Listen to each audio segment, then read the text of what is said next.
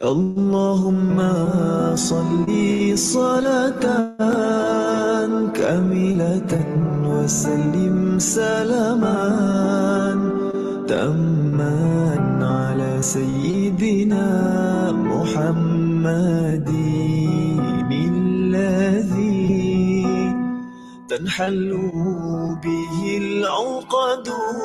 وتنفرج به القرب وتقضى به الحوائج وتنال به الرغائب وحسن الخواتيم ويستسقى الغمام بوجهه الكريم وعلى آله وصحبه في كل لمحة ونفس ونفس بعدد كل معلوم لك.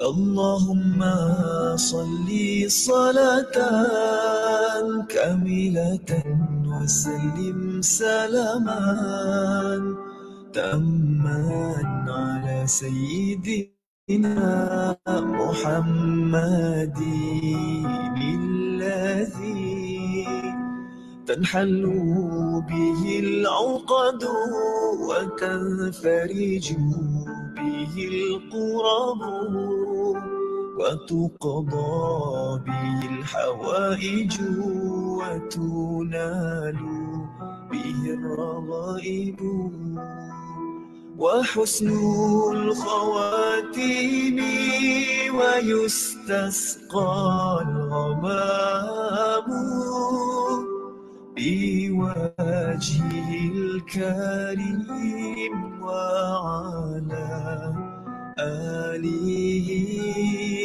وصحبه في كل لمحة ونفس ونفس بعدد كل معلوم لك.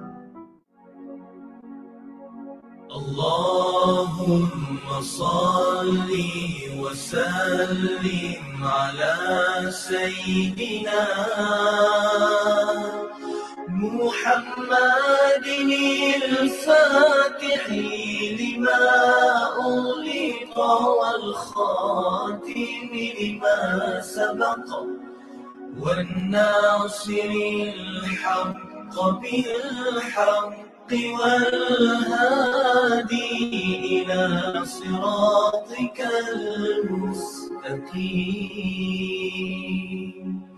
وعلى آله وصحبه حق قدره ومقداره العظيم.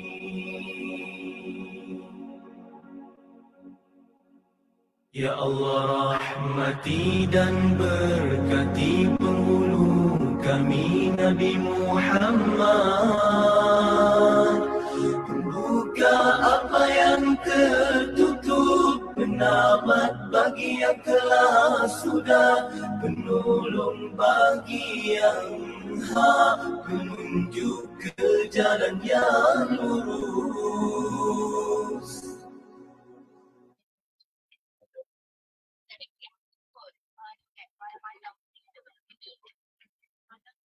Bismillahirrahmanirrahim. Assalamualaikum warahmatullahi taala wabarakatuh. Alhamdulillahirabbil alamin. Wassalatu wassalamu ala asyrafil anbiya'i wal mursalin wa ala alihi wa sahbihi ajma'in. Qala rabbi shrah li sadri wa yassir li amri wa hlul 'uqdatam min lisani yafqahu qawli.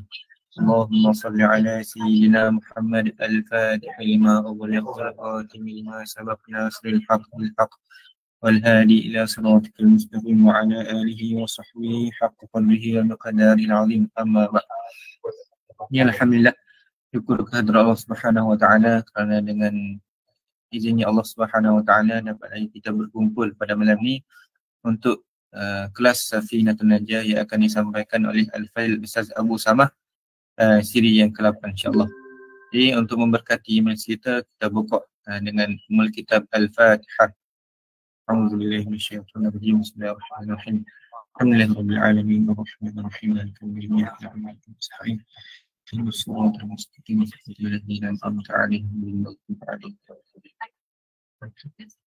Amin Ya Rabbul Alamin InsyaAllah sebelum kita uh, mulakan kelas saya ingin sahabat-sahabat untuk seperti yang uh, anda maklum kebiasaannya lah untuk taji niat dan juga uh, dah siap lah untuk uh, catat setiap fawaid uh, dan ilmu daripada Al-Fadil Ustaz Abu Samah insyaAllah. Tanpa menengahkan masa, anda serahkan majlis kepada Al-Fadil Ustaz Abu Samah. Fal, fal yatafadal mashkurah.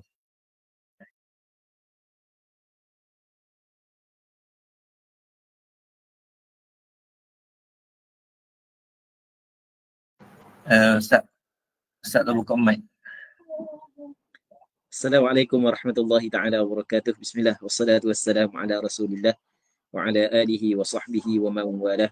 اللهم لا سهل إلا ما جعلته سهلا وأنت تجعل الحزن إذا شئت سهلا. اللهم جعلنا من السعداء المقبولين ولا تجعلنا من الأشقياء المردودين. اللهم صل وسلم وبارك على سيدنا محمد وعلى آله وصحبه أجمعين والحمد لله رب العالمين أما بعد uh, terima kasih kepada pengurusi majlis saudara Hazim uh, pihak penganjur muslimi muslimat uh, peserta-peserta yang mengikut yang mengikuti pengajian uh, pada malam yang mulia ini uh, insyaallah kita sambung semula uh, pengajian kitab Safitan Ratun Najah katanya kita masuk dalam perbahasan baru iaitu perbahasan yang berkait dengan uh, solat bagi orang yang bermusafir. Orang yang bermusafir apabila cukup cukup cukup syarat-syaratnya maka diberi kepadanya beberapa rukhsah, beberapa kelonggaran yang tidak diberi kepada orang yang bermukim. Antara rukhsah yang diberikan kepada orang yang bermusafir adalah uh, jamu, solat jamu dan solat Jamu adalah mengumpulkan dua solat dan dibuat di dalam satu waktu. Sekiranya dibuat dalam waktu yang pertama, maka dinamakan sebagai jamu taqdim. Kalau dibuat dalam waktu yang kedua, maka dinamakan sebagai jamu takhir. Sembahyang yang boleh dijamu adalah dua dua sembahyang. Yang pertama zuhur dan asar, yang keduanya maghrib dan isya. Manakala uh, asar dengan maghrib tidak boleh dijamu. Uh, isya dengan subuh tidak boleh dijamu subuh dengan zuhur tidak boleh dijamuk. Yang boleh jamuk zuhur dengan asar yang pertama maghrib dan isyak. Baik. Yang keduanya rukhsah yang diberikan kepada orang yang bermusafir yang melibatkan ibadat solat uh, qasar ataupun qasr. Qasrun adalah memendekkan solat. Solat yang empat rakaat dilakukan sebanyak dua rakaat. Jadi bermakna solat yang boleh qasar adalah sembahyang zuhur, asar dan isyak. Uh, Kemudian pengarang kita menyebut tentang syarat jamu. Jadi bermakna untuk menjamukkan solat mesti kena ada syarat-syaratnya. andai kata tidak ada syaratnya maka tidak boleh kita jamak solat. Uh, sebab jamak solat ini adalah kita me- mengsunyikan ataupun kita meniadakan ibadat solat uh, di dalam waktu asal baginya. Kalau kita buat jamak takhir, bermakna kita meniadakan solat zuhur dalam waktu asal dan kita solat zuhur dalam waktu solat yang lain. Kalau kita buat jamak uh, takdim, kita meniadakan solat dalam waktu asal je dan kita mengerjakan solat tersebut pada waktu solat yang lain. Jadi tidak boleh kita mengerjakan solat di luar waktunya sebelum daripada waktunya melainkan apabila ada keuzuran. Antara keuzuran yang membolehkan kita solat uh, bukan pada waktunya yang asal uh, adalah uh, antara kita kata antara sebab yang membolehkan kita jamak solat adalah bermusafir. Katanya syurutu jam'i taqdimi arba'ah. Syarat-syarat bagi jamak taqdim. Jamak maksudnya jamak. Jamak ni adalah uh, menghimpunkan dua solat buat dalam satu waktu. Taqdim maksudnya taqdim mendahulukan. Maksudnya kita buat dalam waktu pertama. Zuhur dengan asar kita buat dalam waktu zuhur. Maghrib dengan isyak kita buat dalam waktu maghrib. Nama dia jamak taqdim. Jamak taqdim ada berapa syarat? Ada empat syarat. Arba'ah ada empat syarat. Yang pertamanya adalah al-buda'atu ataupun al-bada'atu bil ula. Memulakan bil ula ay bis salatil ula dengan solat yang pertama. Maksud dia memulakan solat yang pertama, zuhur dengan asar, kita solat zuhur dulu, baru solat asar. Maghrib dengan isyak, kita solat maghrib dulu, baru solat isyak. Kenapa syaratnya mesti kena memulakan solat yang pertama? Jawapannya adalah kerana solat asar adalah tabi' manakala solat zuhur itu adalah matbu' tabi' yang mengikut. Manakala matbu' yang diikut. Solat jamak takdim solat asar dia mengikut solat zuhur.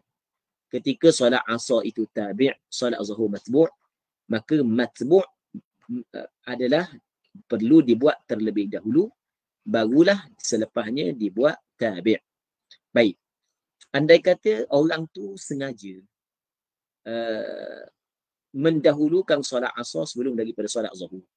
Sedangkan syarat jamak takdim adalah mendahulukan solat zuhur di atas solat asar. Tapi dia sengaja mendahulukan solat asar dulu. Maka solat asar itu tidak sah. Tetapi kalaulah uh, dia terlupa, uh, dia mendahulukan solat asar ataupun uh, kerana uh, terlupalah kita kata boleh kita kata contoh terlupa. Maka solat asar itu terbatal asarnya tapi tetap menjadi solat sunat mutlak. Uh, ataupun kalau dia ada qada uh, solat yang sejenis uh, dengan solat asar sebelum daripada ni yang ditinggalkan dalam musafir uh, yang mana solat yang ditinggalkan dalam musafir kalau kita nak qada dalam musafir juga maka boleh kita qada secara qasar maka solat itu jatuh uh, qada bagi solat yang uh, dia berhutang itu. Baik. Jadi syarat yang pertama mesti memulakan dengan solat yang pertama. Kat, uh, seandainya seorang itu sembahyang zuhur, kemudian dia sembahyang asar. Lepas daripada sembahyang zuhur, uh, sembahyang asar, ternyata solat zuhur dia terbatal. Uh, solat zuhur dia terbatal, maka solat asar dia juga terbatal. Uh, ternyata solat zuhur dia terbatal kerana mungkin dia tertinggal rukun solat maka solat asar dia juga terbatal. Tapi kena ingat terbatal di sini maksudnya terbatal asar dia. Ha, sebab ni bukan dia sengaja. Ha, terbatal asar dia. Terbatal fardu asar. Maksudnya belum lagi gugur kewajipan solat asar ke atas dia.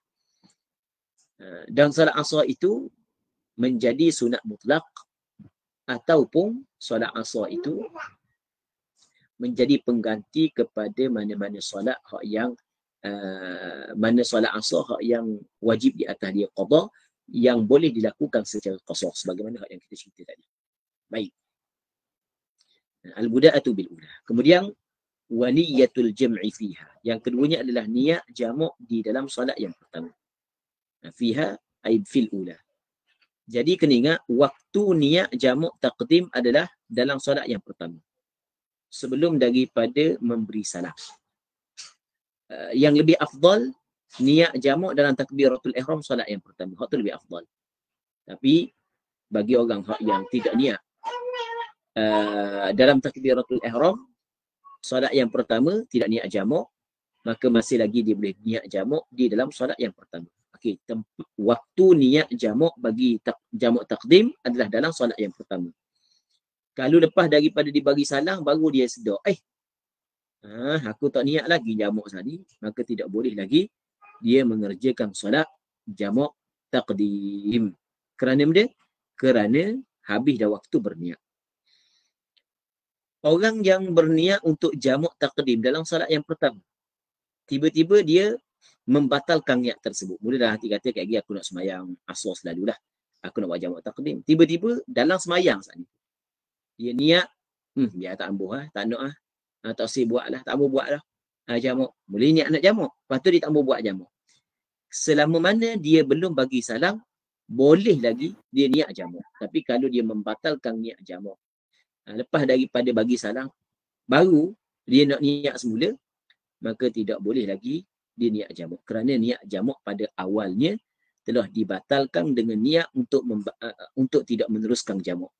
Nah, itu kita kena faham muslimin muslimat yang dirahmati oleh Allah Subhanahu wa taala. Kemudian syarat jamak yang ketiga adalah wal muwalatu bainahuma. Kena mualat di antara solat yang pertama dan solat yang kedua. Maksud benda mualat, maksud mualat di sini adalah selepas daripada solat yang pertama terus kita solat uh, yang kedua. Uh, kalau sekiranya putus mualak di antara solat yang pertama dengan solat yang kedua, maksudnya ada tempoh masa yang lama di antara solat pertama dengan solat kedua, maka tidak boleh lagi dia buat jamak taqdim. Lepas daripada solat pertama, dia main headset. Ha, galik main headset sampai ke 10 minit. Nah, maka tak boleh dah nak buat jamak taqdim. Kalau begitu keadaannya, maka dia kena sembahyang asar di dalam waktunya. Kena sembahyang isyak di dalam waktunya. Tidak boleh lagi nak sembahyang sebagai jamak taqdim. Sebab putus dah mualak uh, mualak ni kira lagu mana? Kata ulama kira uruf. Uh, jadi kalau uruf kata putus mualak, mualak. Uruf ni orang ramai lah. Jadi kita tanya kai rasa lama dah ni di antara sembahyang pertama sembahyang kedua maka dia putus mualak. Eh baru sekejap ni ha, dah putus lagi mualak. Apa yang disebut oleh ulama fiqh dua rakaat yang ringkas, dua rakaat yang ringan di antara solat yang pertama dengan solat yang kedua, ia memutuskan mualak. Ha, jadi kalau kita tengok dua rakaat yang ringkas lebih kurang dalam dua minit ke tiga minit. Dua minit ke tiga minit. Jadi bermakna ha, dua minit ke tiga minit tu ada di antara solat pertama dengan solat kedua ia memutuskan mualak. Tapi kalau sekadar bercakap yang sedikit, ha, bercakap yang sedikit, dia masih lagi belum memutuskan mualak. Ha, mesti kena mualak di antara dua solat tersebut. Kemudian uh, syarat yang ketiga adalah wadawamul udhri dan mesti berkekalang uzur. Uh, uzur saat itu kekal. Wa dawamul udhri ila al-ihram bithaniyah. Hingga kepada takbiratul ihram solat yang kedua. Uh, jadi mesti uzur dia berkekalang hingga selesai takbiratul ihram solat yang kedua.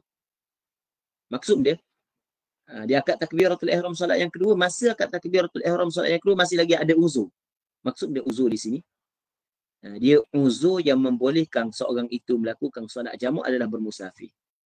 Jadi mesti kena masih lagi bermusafir ketika mengangkat takbiratul ihram solat yang kedua. Andai kata orang tu semayang zuhur. Kemudian tidak sempat untuk angkat takbiratul ihram solat yang kedua, tiba-tiba dia bermukim. Ha, kerana bermukim, contoh dia semayang di atas kapal. Ha, kapal dia berada di tepi laut. Ha, jadi masa dia semayang tu kapal sedang berjalan. Ha, tiba-tiba sampai di uh, Pengkalang. Ha, di kampung dia. Bila sampai di Pengkalang, kampung dia, maka terputuslah safar.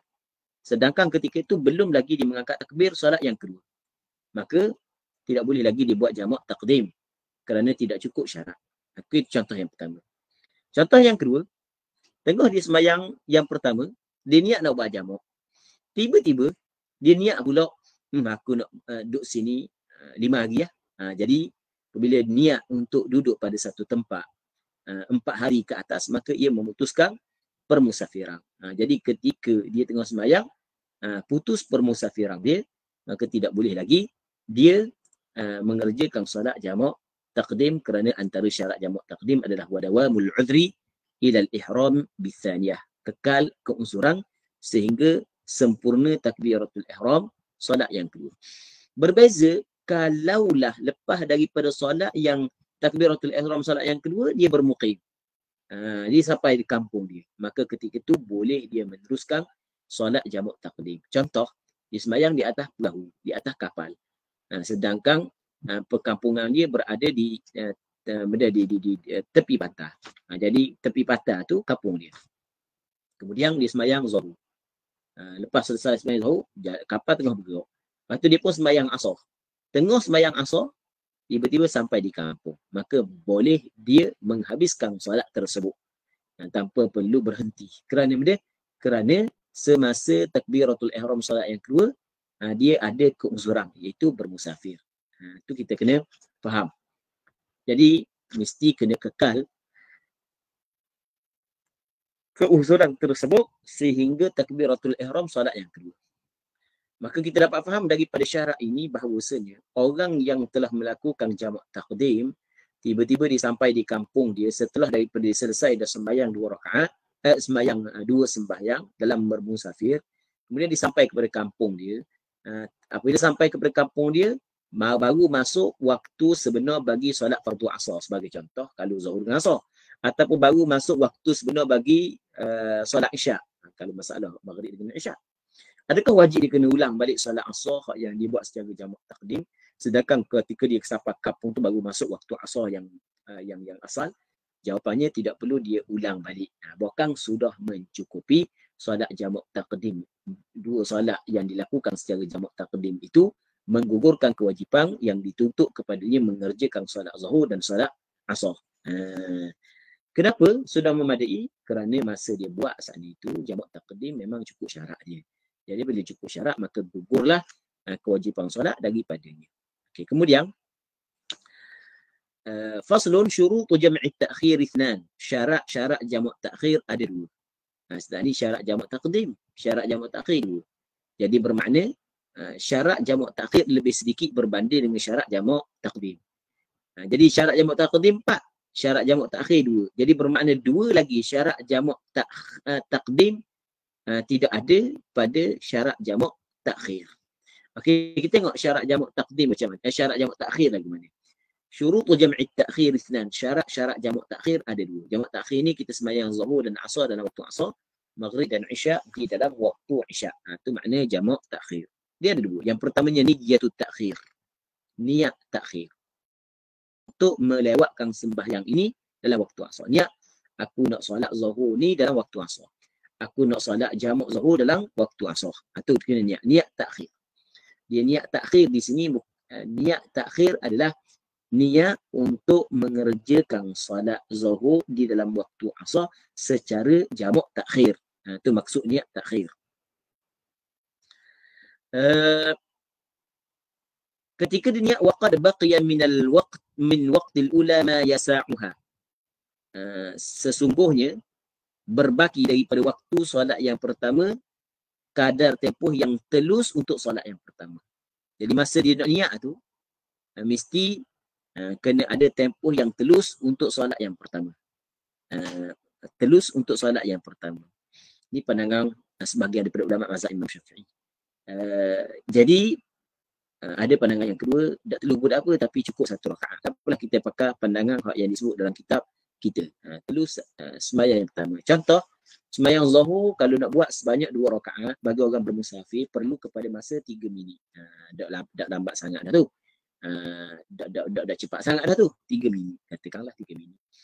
Maka uh, ketika masuk waktu zuhur, bila masuk waktu zuhur, ada dah sebab wajib solat atas mukallaf. Sebab Allah Ta'ala sebut dalam Quran, Aqimis solat tali duluki syams. Hendaklah kamu mendirikan solat ketika uh, ter, uh, uh, gelincir matahari. Jadi apabila berlaku gelincir matahari, maka terjadi sebab wajib solat zuhur. Apabila masuk waktu solat zuhur, diwajibkan dia solat zuhur, uh, mengerjakan solat zuhur dengan perbuatan dia.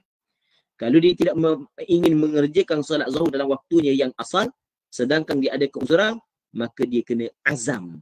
Dia kena niat untuk dilakukan solat tersebut dalam waktu asal. Ha. ketika dia nak niat mesti waktu saat ni tu masih lagi telus untuk mengerjakan solat dalam waktu zuhur yang asal.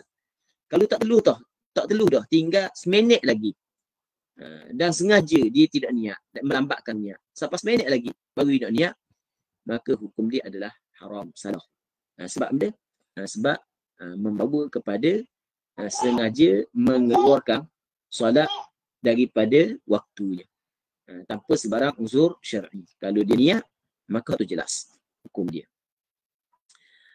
Kemudian wadawamul uzri ila tamami tsaniyah dan berkekalan uzur. Uzur di sini adalah bermusafir hingga kepada sempurna solat yang kedua. Ha, biar selesai dua solat.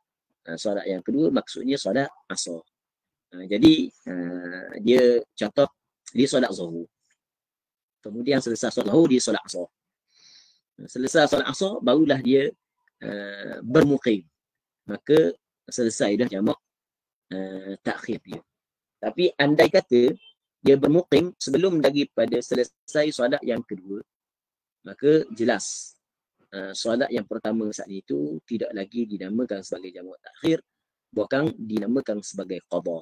Uh, jatuh qadha lah. Uh, jatuh qadha. Baik. Kemudian faslun syurutu al-qasri syurutul qasri sab'atun syarat-syarat qasar. Okey, kita kena faham jamak satu rukhsah, qasar satu rukhsah yang lain. Uh, rukhsah ni kelonggaran yang diberikan oleh syarak. Jamak ni satu rukhsah, qasar satu rukhsah yang lain. Jadi di situ ada dua rukhsah, dua kelonggaran yang diberikan oleh syarak. Lepas tu kita kena ingat pula, tidak disyaratkan bagi orang yang ingin mengerjakan solat jamak, eh, solat qasar, tidak disyaratkan orang yang ingin mengerjakan solat qasar tidak disyaratkan buat jamak bersamanya. Sebab jamak satu bab, qasar satu bab yang lain. Boleh kita buat jamak tanpa qasar, boleh kita buat qasar tanpa jamak, kita boleh buat jamak serta qasar uh, kedua-duanya dan jamak serta qasar salah satu daripada kedua. Boleh berlaku. Kita kata contoh jamak sahaja tanpa qasar. Ha, jamak sahaja tanpa qasar. Masuk waktu zuhur, kita sembahyang fardu zuhur 4 rakaat, lepas tu kita pun jamak selalu dah masuk 4 rakaat. Itu dipanggil dia jamak tanpa qasar. Maghrib 3 rakaat, lepas tu isyak 4 rakaat. Itu dipanggil jamak tanpa qasar. Kita ada qasar tanpa jamak. Qasar tanpa jamak contoh, masuk waktu zuhur, dia pun sembahyang uh, zuhur 2 rakaat. Sebab dia bermusafir. Kemudian masuk waktu asar, dia sembahyang asar 2 rakaat masuk waktu maghrib tiga rakaat lah sebab maghrib dan dia qasar masuk waktu isyak di sembahyang isyak uh, dua rakaat. Uh, tu dia panggil qasar tanpa jamak. Dan boleh jamak serta qasar jamak serta qasar jelas lah. Zuhur dua rakaat asar dua rakaat uh, maghrib tiga rakaat isyak dua rakaat. Uh, tu jamak uh, boleh serta qasar lepas tu ada pula selagi adalah uh, jamak serta qasar salah satu daripada kedua solat pertama empat solat kedua dua. Solat maghrib tiga solat isyak dua. Ha, boleh juga. Baik. Ha, jadi kita kena faham jamak dengan qasar adalah dua bab yang berbeza. Syarat qasar ada sab'atun ada tujuh. Yang pertamanya ayyaku nasafaru marhalatain. Bahawa perjalanannya dua marhalah. Ha, jadi maksud dua marhalah ni adalah sekitar 82 km. Sekitar 82 km. Baik. Sebenarnya dalam penetapan dua marhalah ni uh, ulama sedikit berbeza pandangan lah. Uh, tidak berlaku kesepakatan di kalangan ulama uh, dalam menetapkan uh, bilangan uh, ataupun dalam menetapkan pengiraan kalender uh, bagi perjalanan dua marhalah. Uh, ada yang kata 81, ada kata 82 sampai ada kata 89 uh, dan ada kata 90 lebih dan ada juga sampai 120 km. Ada sampai 120 km. Baik, uh, tapi kita tengok kepada apa yang dikira oleh Imam uh, Nawawi uh, apa yang di, di, di, di, dikira oleh Imam Nawawi. Jadi uh, hak yang nampak hak yang sesuainya adalah 120 km uh, tapi ramai ulama-ulama uh, mazhab Imam Syafi'i yang yang kontemporari Uh, berpendapat sekitar 82 km. Uh, sebagai contoh dalam kitab Taqrirat As-Sabidah 82 km. Dalam kitab Al-Fiqh Al-Manhaji 81 km. Dalam kitab Al-Mu'tamad fi Fiqh Syafi'i 81 km. Baik. Muslimin muslimat yang dirahmati oleh Allah Subhanahu wa taala. Yang penting perjalanannya itu adalah dua marhalah. Uh,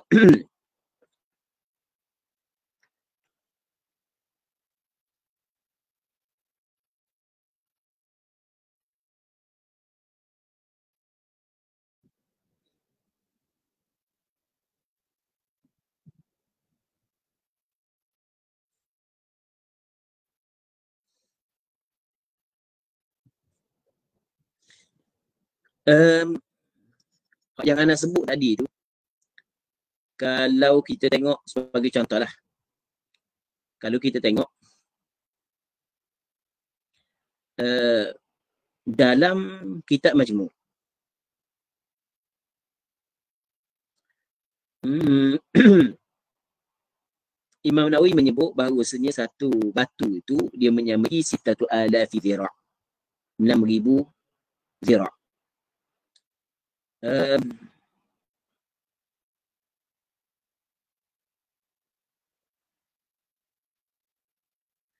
ataupun secara secara mudah uh, dua marhalah ni kalau kira nak nak kira dengan hasta ia lebih kurang dalam dua uh, 288,000 hasta. 288,000 hasta dua hasta satu meter. Jadi 288,000 hasta. Uh, jadi bermakna uh, kalau dengan meter uh, 144,000 meter. 144,000 meter. Uh, jadi 144,000 meter. Uh, satu kilometer 1,000 meter. Ha, jadi lebih daripada lebih kurang lah tu. Jadi lebih kurang uh, 120 km lebih tu. Ha, kalau pengiraan begitulah yang disebut oleh sebagian ulama fiqh sebab itulah ada juga sebahagian daripada ulama uh, fiqh kontemporari menetapkan bilangan uh, kilometer dengan uh, dua marhalah dengan di sebuah kilometer ni uh, lebih daripada 100 km lebih daripada 100 km uh, wallahu alam uh, tak nak khabar secara ringkas je lah Hmm. Ha, boleh tengoklah uh, bagaimana pengiraan uh, dua marhalah dengan pengiraan hasti. Uh, disebut oleh beberapa orang ulama antaranya Imam Nawawi sendiri. uh, cuma sebahagian daripada ulama kontemporari sebagai contoh ana sebut dalam kitab At-Taqdirat As-Sadidah 82 fiqh manhaji mu'tamad fil fiqh Syafi'i yang dikarang oleh uh, Dr. Muhammad Az-Zuhaili 81 km uh, Imam uh, Wahab Az-Zuhaili dalam kitab uh, Al-Fiqh Al-Muyassar yang dikarang oleh beliau tak silap ingat uh, hampir 90 km uh, tak tak apa pun. 80 berapa 86 87 ke 8 ana lupa dah. Lebih tepat. Tapi dekat-dekat dengan 90 baik. Uh, jadi pendek kata dalam penetapan uh, dua dua marhalah dengan pengiraan kilometer berlaku khilaf di kalangan ulama kontemporari. Ulama mazhab Imam Syafi'i yang kontemporari ala kulli hal uh, ada sebahagian ulama kontemporari mengatakan 82 km saat itu cukup dah dua marhalah. Okey baik. Kemudian antara syarat qasar lagi adalah wa an yakuna mubahah dan mesti per, uh, adalah ia perjalanannya permusafirannya itu adalah permusafiran yang harus permusafiran yang harus maksud harus di sini adalah bukan haram Perkataan harus ini merangkumi permusafiran yang wajib seperti permusafiran untuk mengerjakan haji dan umrah kali pertama. Permusafiran yang sunat, contoh menuntut ilmu uh, yang bukan ilmu fardu ain lah.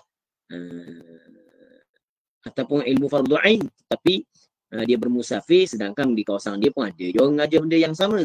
Ha, itu sunat lah kalau tak ada orang ngajar tempat dia, bukan tempat hak yang dia nak ngaji tu kena pergi setempat dia, perjalanan jauh ha, maka waktu jadi wajiblah dia bermusafir. Ha, kerana nak menuntut ilmu fardu ain. Cuma kalau tempat lain ada tempat dia pun ada. Ha, ketika tu bukanlah wajib. Ha, kita sunat je lah. Ha, sebab ha, di tempat dia pun ada benda yang sama. Okay. Ha, dan merangkumi juga perjalanan yang uh, harus. Contoh perjalanan untuk berniaga perjalanan harus. Ha, dan merangkumi juga uh, perjalanan yang makruh contoh perjalanan tujuan untuk melakukan uh, perkara makruh. Uh, itu termasuk dalam perjalanan yang harus. Perjalanan wajib, perjalanan sunat, perjalanan harus dan perjalanan makruh. Ada pun perjalanan haram, maka tidak boleh seseorang itu kosong solat. Uh, perjalanan yang haram. Sebab mana tidak boleh kosong solat? Kerana kosong solat bagi orang musafir ni rukhsah, keringanan, keizinan, kelonggaran yang diberi oleh syarak. Orang yang melakukan maksiat, orang yang bermusafir tujuan untuk melakukan maksiat, dia derhaka kepada syarak. Bagaimana dia derhaka kepada syarak? Tiba-tiba dia nak mengambil uh, kelonggaran yang diberikan oleh syarak. Tidak sepatutnya orang yang derhaka kepada syarak mendapat kelonggaran daripada syarak. Uh, sebab tu dalam kaedah fiqah, uh, ulama fiqah meletakkan satu kaedah, ar-rukhasu la tunaqu bil ma'asi. Uh, rukhsah, rukhsah, kelonggaran, kelonggaran syarak tidak boleh dicapai, tidak boleh diambil uh, dengan uh, al-ma'asi dengan maksiat-maksiat. Uh, jadi kalaulah perjalanan itu perjalanan maksiat, maka tidak diberikan rukhsah syarak kepadanya termasuklah uh, sembahyang qasar, sembahyang jamak. Baik. Wa ayyakuna mubahah. Harus ni cukup pada zon dia saja. Cukup pada zon, pada kuat sangka. Uh, contoh, dia ni penghantar barangan penghantar barangan. Pada sangkaan dia barangan yang dihantar itu ada barangan yang halal. Ha, barang halal. ha, sebab tengok cok halal. Tapi ada tulisan Cina. ha, cok halal tulisan Cina. Dia ingat halal. Ha, dia pun pergi ha, jauh dia tu. Ha, 150 km. Ha, semayang jamak kosong dalam perjalanan. Ha, sampai sana, selesai dah semayang dah tu, sampai sana, buka-buka barang, Ha, tengok orang hak yang penerima tu buka barang. Tengok-tengok arak duduk dalam. Allah parak sungguh. Ha, bawa arak nak setarap. Ha, bawa arak. Jadi ha, pada sangkaan dia harus rupa-rupanya hakikatnya adalah perjalanan yang haram. Dia tak tahu. Ha, maka tetap sah solat uh, jet qasar dia. Solat jamak dia sah. Solat qasar dia sah. Sah tak ada, tidak menjadi masalah. Ha, sebab pada sangkaan dia adalah harus. Baik. Ayyakuna mubahan. Kemudian wal ilmu bi jawazil qasr. Ha, mengetahui dengan harus qasr. Ha, kalau tidak tahu hukum qasr harus tiba-tiba di qasr solat, maka tak sahlah solat qasr dia. Contoh. Itu contoh. Ha, dia bermusafir.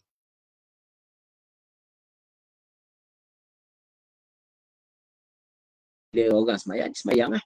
Orang jadi tu imam, orang nak kabar dia nak semayang kosong. Uh, ataupun sebut dua kosong tapi tak faham.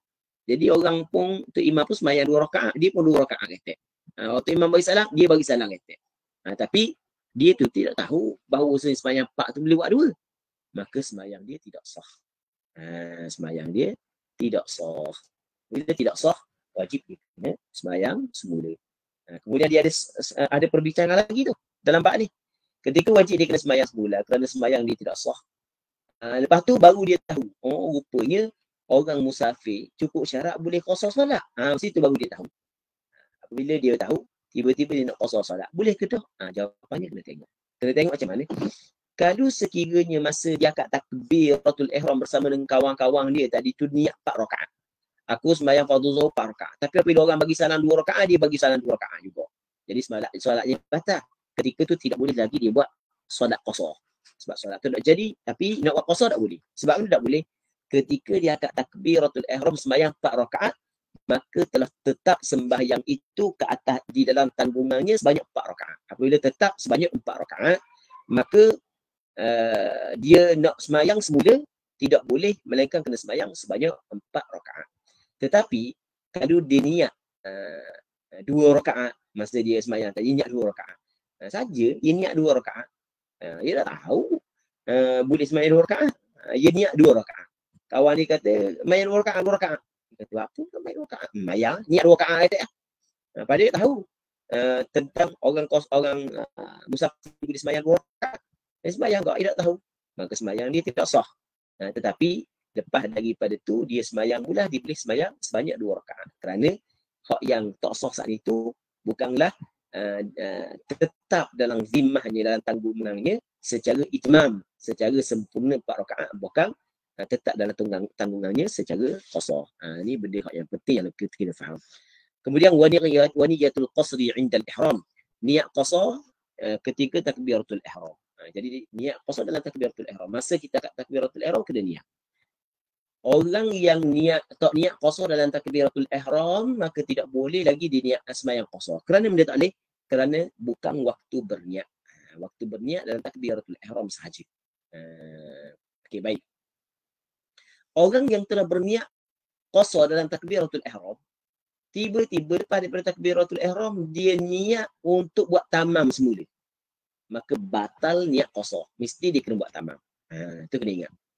Baik. Lepas tu dia niat qasar boleh ke tak pula? Tak boleh dah. Sebab habis tepat dia dah. Habis dah waktu dia. Waktu dia dalam takbiratul ihram saja kemudian wa antakuna salatu ruba wa antakuna salatu rubaidatan solat itu mesti solat yang dinisbahkan kepada empat rakaat ha, jadi solat zuhur solat asar solat isyak jadi solat maghrib dengan subuh tidak boleh uh, diqasarkan. Tidak boleh nak qasar. Uh, baik.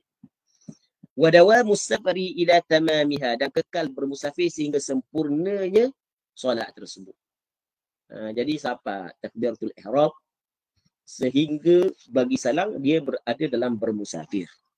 Uh, jadi kalaulah tidak sempat untuk bagi salam tiba-tiba sampai dah kapal di kampung dia dan kampung dia berada di tepi pantai maka ketika itu tak boleh lagi dia solat solat dia tidak boleh lagi solat qasar bahkan wajib dia kena sempurnakan solat tersebut dengan ditambah sebanyak dua rakaat hmm. wa alla yaqtadi bi mutimmin fi juz'in min salati dan dia tidak mengikut dengan orang yang sembahyang tamam pada satu juzuk daripada solatnya pada satu bahagian daripada solatnya tidak boleh ikut kalau dia ikut pada dalam takbiratul ihram ke dalam sujud ke ha, dia ikut dia ikut maka ketika itu batal qasarnya Ha, bukan batal solat, batal kosong. Uh, maka wajib dia kena uh, meneruskan solat tersebut secara tamam. Uh, gitu. Dan bahawa tidak mengikut orang yang sembah yang tamam pada satu bahagian dari persoalannya. Yang dimaksud dengan sembahyang tamam di sini, mutim di sini adalah yang pertama, orang sembahyang zuhur 4 rakaat. Yang kedua orang sembahyang asar 4 rakaat. Yang ketiga orang sembahyang isyak 4 rakaat dan termasuk juga semayang tamam di sini adalah semayang maghrib tiga rakaat, semayang subuh dua rakaat. Orang semayang subuh dia bukan semayang kosong, dia semayang tamam sebanyak dua rakaat. Kawan dia ada qada subuh. Kawan dia nak qada solat subuh. Dia nak uh, semayang kosong di belakang kawan dia yang qada solat subuh. Nah, sedangkan solat subuh itu dibuat secara tamam. Uh, dua rakaat itu tamam lah. Uh, untuk solat subuh. Maka batal qasarnya. Wajib lepas daripada itu imam bagi salam uh, menambah lagi uh, dua rakaat.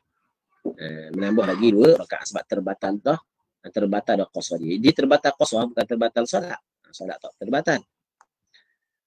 Kemudian faslun. Ini suatu fasal. Syurutul Jum'ati sittatun. Syarat-syarat Jum'ah ada enam.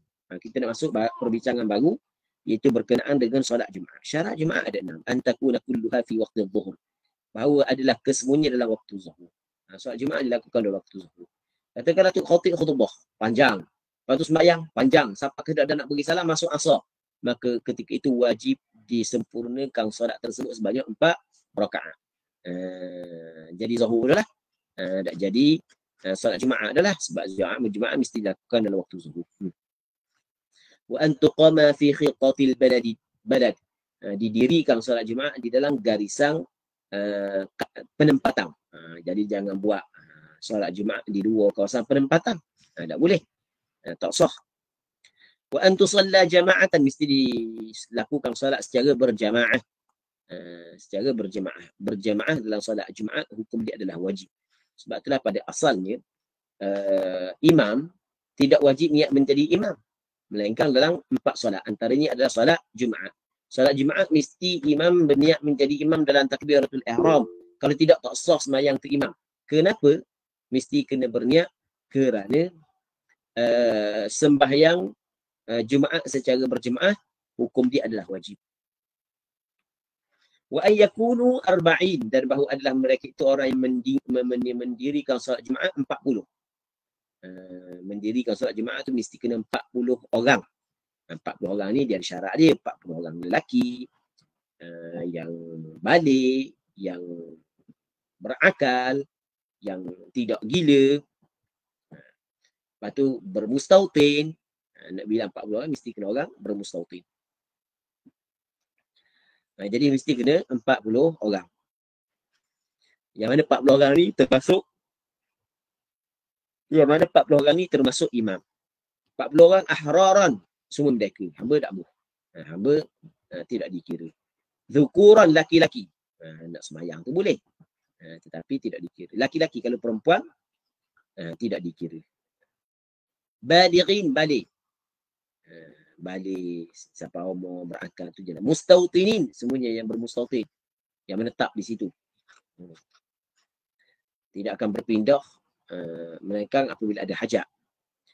Wa alla tasbiqaha wa taqwa tuqarinaha jum'atun fi tilkal balad dan baru tidak mendahului akan dia dan tidak menyertai baginya uh, tidak menyertai, menyertai oleh Jumaat pada tempat tersebut. Uh, jadi jangan ada dah bawa Jumaat baru awal. Jadi kalau dalam tempat tu dalam satu qaryah dua dua tempat Jumaat maka hak yang buat dulu uh, sah hak yang buat kediang tak sah. Kalau sama-sama buat Ha, akad takbiratul ihram sama-sama maka kedua-duanya tidak sah. Maksud wa alla tasbiqaha wa la tuqarinaha jum'atun fi tilkal balad. Wa an yataqaddamaha khutbatan dan bahawa uh, mendahului akan solat Jumaat oleh dua khutbah. Ha, jadi ada dua khutbah. Itu kemudian ia bincang berkenaan dengan rukun khutbah. Faslun arkanul khutbatain khamsah. Rukun-rukun dua khutbah ada lima. Hamdulillahi fihi memuji Allah pada keduanya khutbah pertama, khutbah kedua. Wassalatu ala Nabi sallallahu alaihi wasallam fihima. Selawat kepada Rasulullah dalam dua khutbah. Khutbah pertama, khutbah kedua. Kedua. Wal wasiyatu bit taqwa fihima dan wasiat dengan takwa pada keduanya. Uh, wasiat dengan takwa ittaqullah ataupun uh, ati'ullah. Uh, boleh belaka tu. Wa qira'atu ayatin min al-Quran fi ihdahuma dan baca satu ayat daripada Al-Quran pada salah satu daripada dua khutbah. Kita nak baca khutbah pertama berapa? khutbah kedua tak apa. Comel baca khutbah pertama. Uh, supaya seimbang. Kerana kat gini ada pula, nanti ada pula uh, doa kepada orang beriman uh, dalam khutbah yang kedua. Nampak seimbang. Baik. Lepas tu doa ulil mu'minin wal mu'minat fil akhirah. Fil, uh, fil akhirah. Uh, doa kepada orang beriman laki-laki, kepada orang beriman perempuan dalam uh, khutbah yang akhir. Jadi rukun khutbah ni mesti dibaca dengan bahasa Arab. Tidak memadai dibaca dengan bahasa Melayu. Uh, walaupun orang yang dengar saat itu tidak faham seorang pun tidak faham Arab. Mesti kena baca dengan bahasa Arab. Uh, kemudian, uh, jadi khutbah ni bukanlah payah lah. Khutbah. Uh, kalau kita nak ringkaskan khutbah ni, tak apa pun 2 minit. Assalamualaikum warahmatullahi Sunat. Uh, kita naik atas mimbar, tak ada bagi salam. Pakai selalu dah. Sah dah khutbah kita, sah. Cuma tak ada pahala sunat lah. Ha, khutbah tu sah. Pahala sunat je, tak ada. Jadi, kita naik atas mimbar, kita gila dah. Alhamdulillah. Allahumma salli ala Muhammad. Ittaqullah. Qala Allah Ta'ala. Lam mim. Thalika al-kitabu la raiba fihi hudan lil muttaqin. Lepas tu, kita pun duduk. Duduk. Bangun, bangun pula. Alhamdulillah wassalatu wassalamu ala rasulillah. Ittaqullah. Allahumma gfir lil mu'minina wal mu'minat. Okay, selesai khutbah. Ha, bagi hello. Selesai khutbah. Dua khutbah kejap. Faslun syurutul khutbataini asyarah. Syarat-syarat syarat dua khutbah ada sepuluh. At-taharatu anil hadathaini al-asghari wal akbar. Kena suci daripada dua hadas. Hadas kecil dan hadas besar. Hadas kecil kena suci. Hadas besar juga kena suci. Yang keduanya, Wattaharatu anil najasati fi thawbi wal badani wal makan. Bersuci daripada najis pada pakaian, pada tubuh badan, pada tempat solat. Hmm. Wasatul aurah kena tutup aurat, menutup aurat. Wal qiyamu alal qadir. Berdiri bagi orang yang mampu berdiri. Wal julusu bainahuma duduk antara dua khutbah. Fawqa tuma'ninati salah. Lebih daripada tuma'ninah dalam salat. Ha, jadi lebih sikit lah. Daripada qadar ucapan subhanallah. Ha, wal mualatu bainahum dan mualat antara keduanya dua khutbah jangan pada tempoh masa yang lama di antara khutbah pertama dan khutbah yang kedua itu maksud mualat antara keduanya wal mualatu bainahuma wa bainas salati dan mualat di antara dua dua dua, dua khutbah dan di antara solat wa an takuna bil arabiyyah dan mesti rukun khutbah saat itu dengan bahasa Arab. Rukun khutbah wajib bahasa Arab.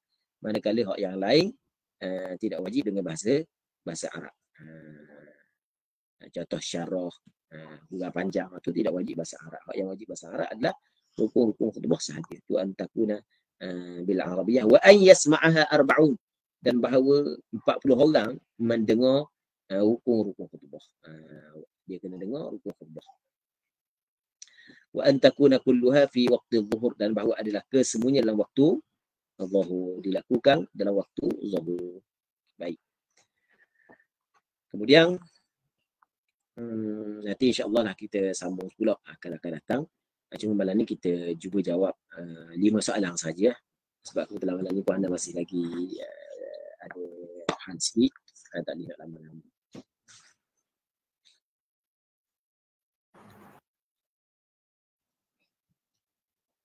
Bismillahirrahmanirrahim. Alhamdulillah. Uh, saya untuk sesi perbahasan uh, kitab Safin Najah. InsyaAllah kita akan masuk kepada sesi soal jawab. Jadi uh, insyaAllah untuk soalan yang pertama. Uh, Assalamualaikum Ustaz. Maaf ganggu. Jika seorang salat tamam zuhur kemudian dia teruskan kosar asar, adakah salat kosarnya diterima? Kosar dengan jamu adalah dua bab yang berbeza tidak disyaratkan bagi orang yang nak buat jamak uh, mesti kena buat qasar bersamanya. Tidak disyarat bagi orang yang nak buat qasar kena buat bersama berjamak bersamanya. Orang yang buat solat zuhur secara itmam kerana dia mengikut tu imam sembahyang biasa, kemudian lepas daripada sembahyang zuhur dia nak sembahyang asar sebanyak dua rakaat, maka diterima ke tak? Insya-Allah diterima kalau sekiranya cukup keikhlasan dan syarat-syarat yang lain. Insya-Allah diterima. Eh, soalan yang kedua. Eh, Assalamualaikum Ustaz. Mustautin tu apa? Bermustautin ni adalah orang yang menetap di sesuatu tempat dan dia tidak ingin berpindah daripada tempat tersebut. Sama ada pada musim panas, musim sejuk, ia tak mau berpindah. Uh, jadi nak menetap di situlah, nak tinggal di situ. Itu makna tempat bermustautin. Manakala tempat bermukim ini adalah orang yang menetap di suatu tempat empat hari, empat malam ke atas uh, pagi empat malam ke atas uh, dia menetap di satu tempat. Uh, ataupun kampung dia tempat lain. Maka itu dia orang dinamakan sebagai orang yang bermukim. Baik, soalan yang seterusnya. Uh, Assalamualaikum Ustaz. Apa yang dimaksudkan uh, mesti diniatkan imam pada solat Jumaat? Uh, solat Jumaat tu imam mesti wajib kena niat menjadi imam. Dalam takbiratul ihram saja aku sembahyang fardu Jumaat dua rakaat aku menjadi imam aku solat berjamaah. Aku menjadi imam. Ha, mesti kena niat dalam itu. Kerana solat Jumaat wajib dilakukan secara berjamaah. Maka niat berjamaah mesti bermula daripada takbiratul ihram. Kerana takbiratul ihram adalah permulaan bagi solat. Baik. Uh, seterusnya. Assalamualaikum Ustaz. Kalau dia tak niat untuk musafir tetapi setelah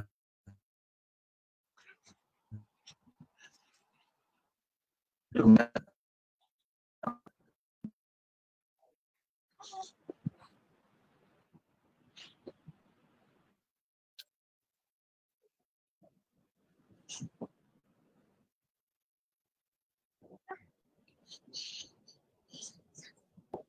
tak dengar, tak dengar saat ni.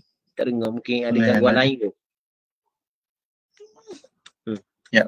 Eh, uh, ini jelas tak? Okey, jelas, jelas. Okay. Assalamualaikum Ustaz.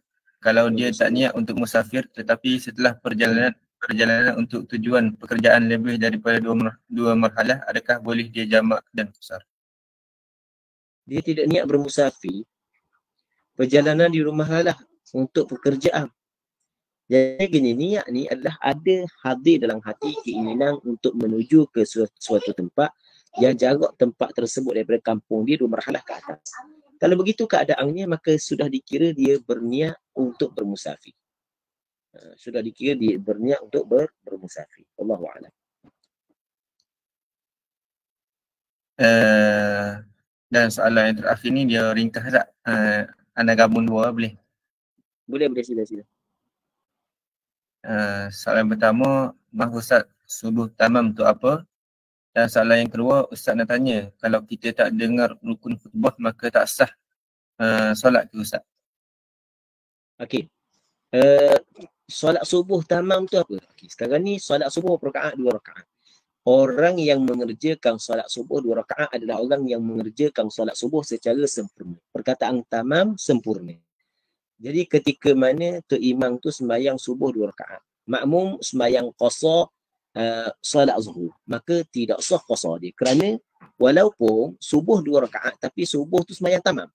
Bukan sembahyang qasar. Maka orang yang ikut sembahyang tu imam sembahyang subuh dua rakaat wajib dia kena sembahyang tamam sebanyak empat rakaat. Uh, bukan, oh, kau subuh dua rakaat, aku sembahyang rakaat, jadi sama-sama rakaat. Dia bukan kira gitu. Dia kira wa alla yaqtadiya bi mutimmin fi juz'in min salati.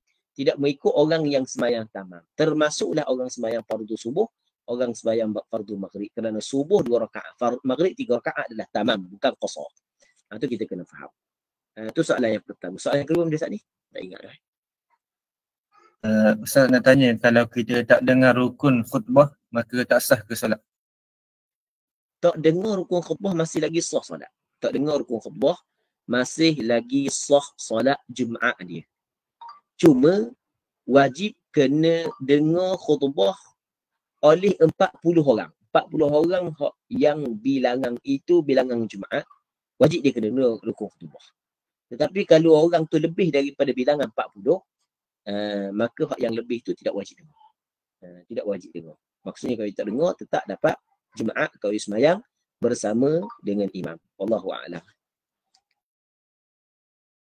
Jadi untuk soalan-soalan yang seterusnya tu insyaAllah kita akan tanya untuk kelas seterusnya lah. Baik, uh, Jazakallah dia ucapkan kepada Al-Fadil Abu Samad. Uh, sebelum kita tutup uh, kita uh, minta uh, sedikit doa lah Ustaz insyaAllah. Wassalatu wassalamu ala rasulillah wa ala alihi wa sahbihi wa man wala. اللهم انفعنا بما علمتنا وعلمنا ما ينفعنا وعلمنا ما جهلنا وذكرنا ما نسينا. اللهم إنا نعوذ بك من علم لا ينفع ومن قلب لا يخشع ومن نفس لا تشبع ومن دعوة لا يستجاب لها.